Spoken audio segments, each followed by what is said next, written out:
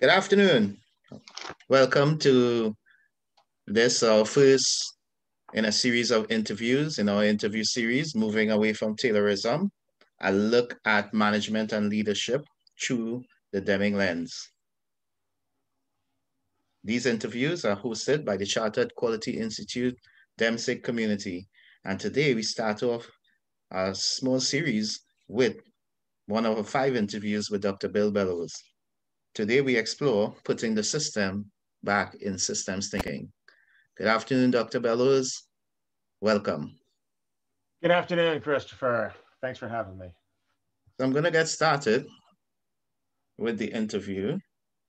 And I'm going to ask you to tell me a little bit about who is Bill Bellows and how did you get involved with Deming's thinking and philosophy? Sure. I um,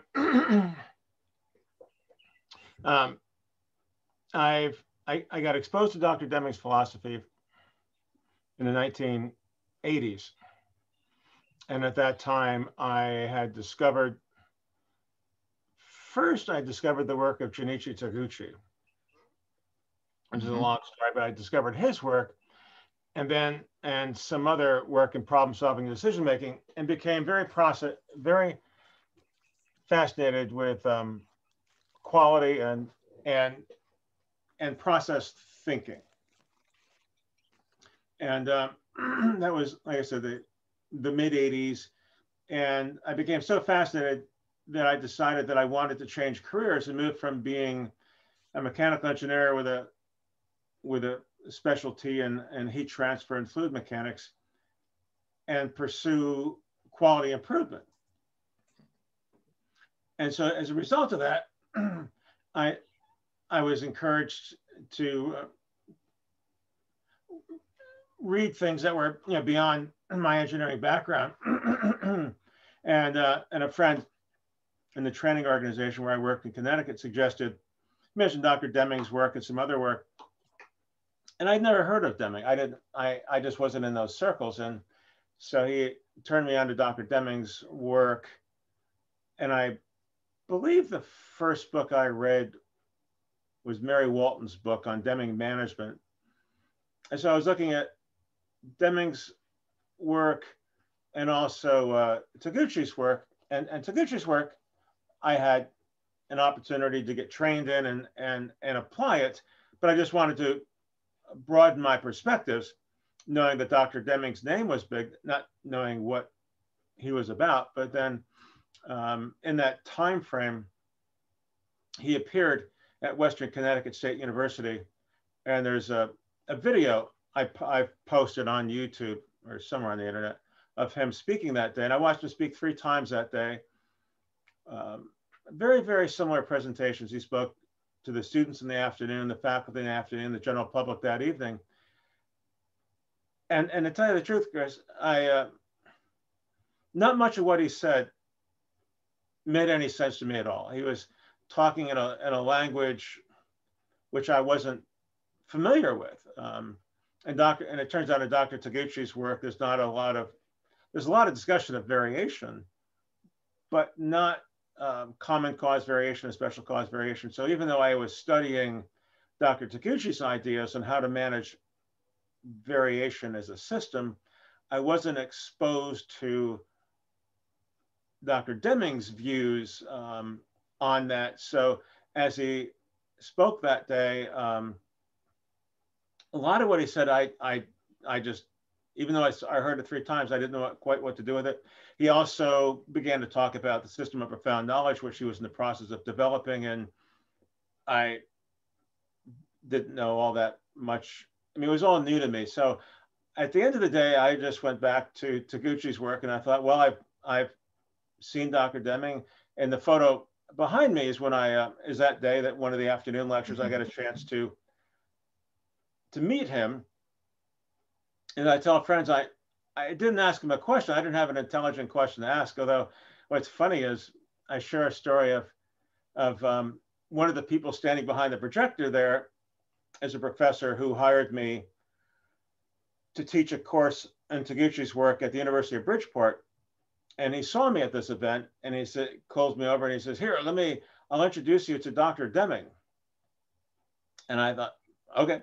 So he, he brings me over to Dr. Deming and, and I don't know if that was, it might have been just prior to when this photo was taken. So he brings me over to Dr. Deming and he says, Dr. Deming, he says, uh, he says, a year ago, is this is the professor speaking, he says, Dr. Deming, he says, a year ago, you suggested that we needed to go off and do training in TQM and we have, and this is the gentleman we hired to do that. and and so I remember, I distinctly remember this kind of the look on Dr. Deming's face. I said that. and um, and all what I tell people is it wasn't a it was kind of a look of of scorn. It wasn't it wasn't a it wasn't what I was expecting was going to be, oh, fantastic. I, I, yeah, but it wasn't that kind of fantastic. It was kind of like, uh, you did what? And and you know later I realized that Dr. Deming wasn't fond of this thing called TQM because he felt it seriously misrepresented what he was talking about. But that that was my exposure to Deming that day. And the and the other piece I'll say, and I just want to give it some context, is um, I, was there with two friends from college, and, and one friend is in the photo with me in the uh, in the beige tan sport jacket, and the other friend took the photo.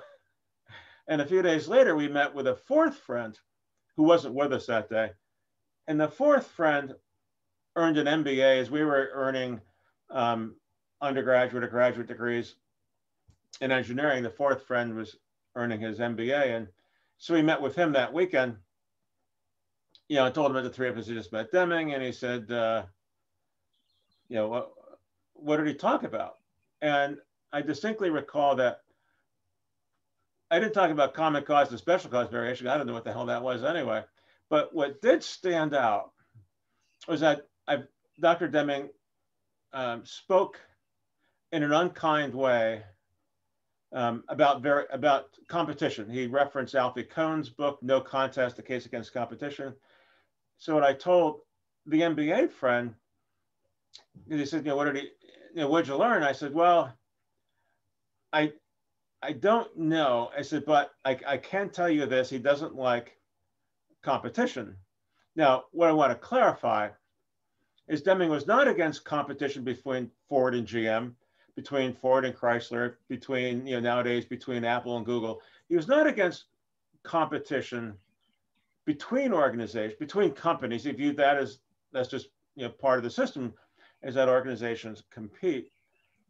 What he was against was competition within the system, competition mm-hmm. within Google, within Apple, within product divisions, within. So I just want to point out you know that piece of clarification is that Deming was speaking ill of competition within a given system, within a given corporation that felt we should all cooperate.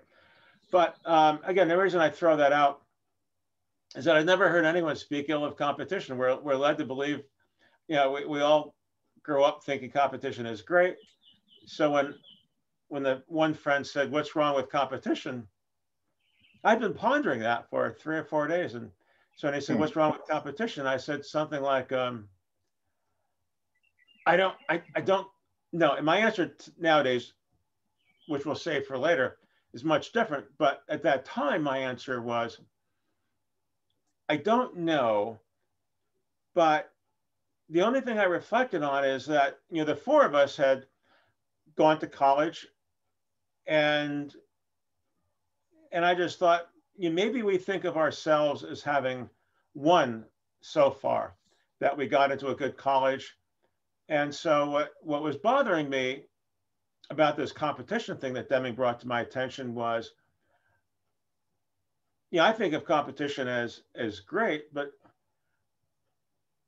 you know, maybe that's because you know I was amongst those who did better than others, and so I wasn't. What I wasn't thinking about was those on the other side of the fence who, you know, by this by standards, make not consider themselves winners, but but, but losers. You know, within organizations, you have a a few winners. Within society, you have a few winners and a lot of losers. And what Dr. Deming was speaking to is a society in which there are no losers, uh, at least from an organ, at least from a societal perspective. And so that piece was bothering me, and I just kept thinking back to people I had grown up with that didn't go on to college. And it's, it's not to say that you know everyone needs to go on to college, but I just thought that I had done pretty well to that point. And I was just thinking about the others that might not have. So that's um, so with that, I, I took that appreciation of Dr. Deming's work, was hired in 1990 by uh, the Rocketdyne division of Rockwell International, which at that time had 10,000 employees, was working on the Space Shuttle main engine program, which was a major, major success. Also working on the design and development of the electric power station for space station. And, and Rocketdyne was working on all kinds of programs, top secret satellite programs, all kinds of stuff. And it was just an amazing place to work. So we moved the family from Connecticut to Los Angeles. I joined a group known as the Total Quality Management Office, still not knowing that was bad. and and I was the specialist in, in Dr. Taguchi's work. And I was, like I say, as I was being kept incredibly busy. I was just having so much fun. But then I began to realize that what I was having fun doing, there was being something a firefighter. wrong. Was being a fighter, firefighter. Yeah, I, I exactly as, as we spoke about before is that I was in a group, not even though I was applying what I learned from Dr. Taguchi, I was applying it in a way that began to bother me is that I was helping put out fires. Dr. Deming Mhm. would say, "Of- of course we're going to have fires. But a focus on the fires is a focus on the past. And by the time you solve the problem, put out the fire, you're back to where you started. So what I was, At best. that's right, at best. So that's right. And and for some of the fires going on within the organization, if the fires weren't solved, then the customer, um, NASA or some other agency of the government, at that level, if the problem's not solved, the customer takes the work someplace else. So you're Hmm. right. That that's a situation. What I saw was situations where we didn't go back to where we were before the fire. We went back to having, using that metaphor, there was no home. So what was bothering me was if we solve the problem, we end up back to where we were yesterday. And if we don't solve the problem, then that product will be given to a competitor. And so what was bothering me was this incredible focus on, on firefighting. And, I, and the more I learned, the more I realized I thought there were other ways to go. So anyway, when I read Dr. Deming's book in 1993, after three years of, of firefighting, mostly firefighting, in his book, I realized that what I was experiencing was very common. It wasn't unique to where I worked or the industry. And, and I also began to realize that with a better understanding of his work, I could attempt to shift how the organization thought about quality and, and move it from highly reactive to proactive, at least where proactive makes made sense. So Deming's work saved me. One, it Hmm. saved me in that he exposed me to the commonality of what I was experienced, that I wasn't crazy. Okay. And he also gave me a sense of, through this system of profound knowledge that he had developed, how the, if I, the better I understood that, the better I could shift the organization to being a lot more deliberate and a lot less firefighting. Okay. Uh, so in your opinion, what makes the Deming management method um, different from other management, you know, fads and philosophies that are so commonplace today? You know, um, Sure. My, well, first I say, um, and you, you- you've, you've met others in the Deming community. Um, and at first I would say I, I met Deming twice. I met him there in that photo in 1990, I, I attended his very, very last four day seminar in December 93. Um, the seminar ran from December 7th through 10th. He died 10 days later. He was in uh, very, very frail shape at that time. So I tell people is I, I never asked him a question. The first time I met him, as in this photo, I, I didn't have an intelligent question to ask him. Um, and then when I met him in 1993, he was so frail. I was standing in line with others getting his autograph, and I didn't want to stop to ask him any questions. I just wanted to get his autograph and get out of the way. So I, amongst those in the Deming community, I didn't spend, you know, a fraction of a of a few minutes with him. But amongst those in the Deming community, I spent a great deal of time with Russell Ackoff and a great deal of time with Dr. Taguchi and, and also um, some fun times with Edward de Bono and, and others. So when you ask that question about the uniqueness of Dr. Deming's philosophy, I just want to say um, others will have different answers. My answer comes from what I learned from Ackoff, what I've learned from Dr. Taguchi. And, and Russ would say, it's one of my favorite quotes by Russ, and it comes from an interview of the two of them. And Russ, who, who taught at the University of Pennsylvania for many years, is a you know, brilliant systems theorist. He said the characteristic way of management we have taught in the Western world is to take a complex system, divide it into parts, and manage each part as well as possible. And if that's done, the system will behave well. To which he follows and everything I just shared with you is a direct quote from him. You know, the system will behave well. And then he pauses and he says, and that's absolutely false. Well, it is. that's the piece that I find fascinating about Deming's work that I find invaluable about it as a framework. So what um, people are in fact, the very first time I heard about the Deming red bead experiment, it was in Mary Walton's book, and and I was trying to get my head around. I mean, what came out in the book was that it was a very exciting experiment, um, you know, and, and legendary at that time. And I was just trying to think, okay, so people go up and they put the paddle into the bowl of white beads and red beads and pull it out and and I was just trying to get my head around why is this so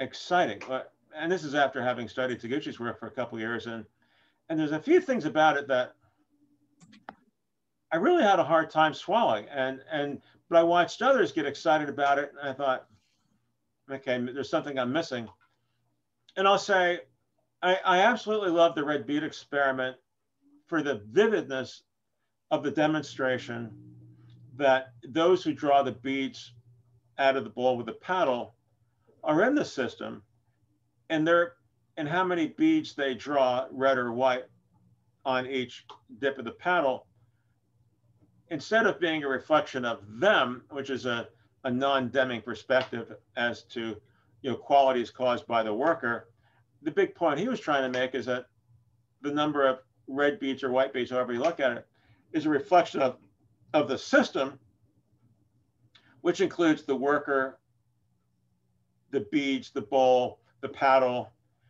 you know, the, the procedures by which we draw the beads.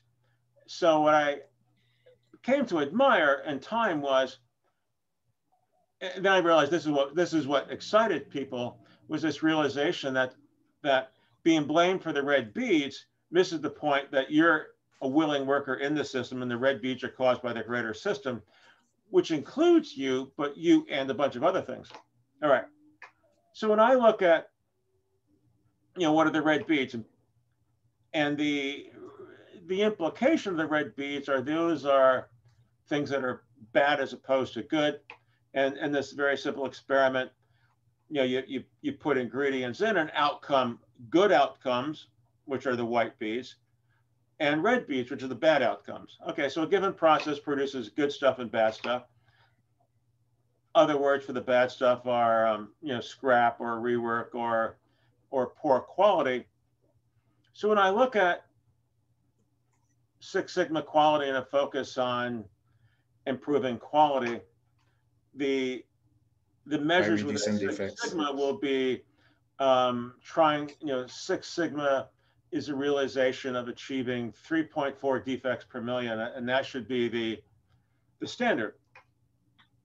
Well, you go back, you know, that's, that comes out, you know, Six Sigma quality, birth date, you know, the publicity dates, you know, the awareness out of Motorola goes back to the 1989 timeframe. Well, then as I studied further, I went back and looked at the work of Philip Crosby beginning in the early 60s, where he set the standard for defects as being zero. And I remember asking a, a graduate class I was teaching in Chicago a number of years ago, and I said, we're going to talk about quality practices, past, present, future. In the past, you know, what do we have? And somebody said zero defect quality. Asked them what they knew about it. We talked about Phil Crosby setting the goal of zero in the early 60s, which was incredible, zero. Before, and then I said, okay, what do you know about what do you know about quality today? And the course I was offering was at the Kellogg Business School at the Northwestern University, which is at that point of time was like the number one or number two business school in the country. I'm sure they're in the top five even today. So in that class where MBA students learning about quality in the class I was teaching, in fact, the title of the class I think was was total quality management. I'm pretty sure that was the title. And um, so I said, what do you know about quality today? You know, this was in the late 90s, and one of them said Six Sigma quality. I said, what do you know about that?